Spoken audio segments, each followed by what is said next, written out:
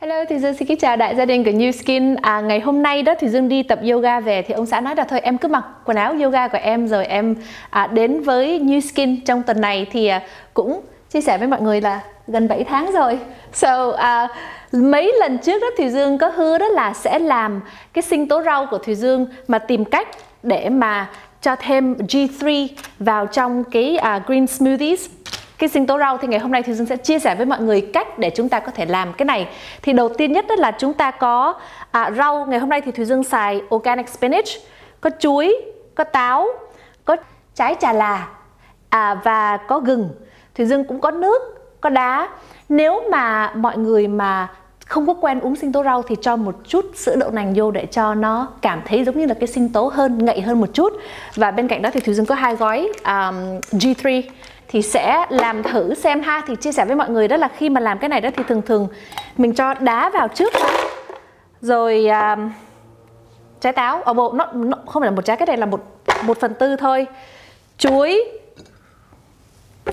dates gừng. À, rồi mọi người cho spinach. Thấy là cũng rất là nhiều spinach ha. Làm cho rất là bổ. Bây giờ cho nước vào và tất cả những cái này đó là um, tùy hứng nó cũng không có chất lượng độ gì đâu nghĩa là muốn cho bao nhiêu cho đó. À, đối với thủy dương ngày hôm nay là làm đại xem là có ngon không nhưng mà hy vọng là sẽ ngon. Thì đây ha mình có cái gói G3 cho vào. Nếu mà mọi người mà có cái um, cái chai lớn đó thì nó sẽ dễ hơn. Nhưng mà ngày hôm nay ở nhà thì dương chỉ có cái travel size thôi. Okay here's another one đơn giản như đang giỡn vậy đó. Tôi hy vọng vào nó ngon chứ cần nếu mà không ngon thì đơn giản cũng không có làm được gì hết á. Thì thùy dương xài cái vitamix. À,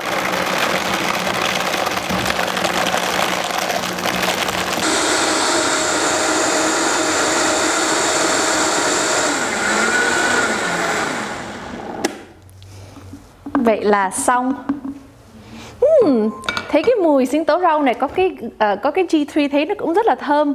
Thì bây giờ đó là Thùy Dương sẽ mời một người bạn của Thùy Dương tại New Skin Jenny. Jenny tới để mà uống thử. Xem là nó như thế nào thì hôm nay mình sẽ là chuột bạch của chị Thùy Dương. Em hy vọng là uống xong ly này em vẫn còn có mặt cho sự kiện buổi tối vì sao tuần tới ok? Right. Here goes. Wow It's really good chị. I got. It smells really good too. Let me try it. Ngon. Actually, it's really really good. okay, uh, um, Từ Dương có cái biophotonic scanner again thì ngày hôm nay coi xem là mình bao nhiêu uh, điểm ha thì lần trước là 59 ngàn lần đầu tiên á mà Thùy Dương scan nếu mà nhớ không có lầm á là 44 ngàn xong lên đến 54 ngàn xong 59 ngàn thì um, ok.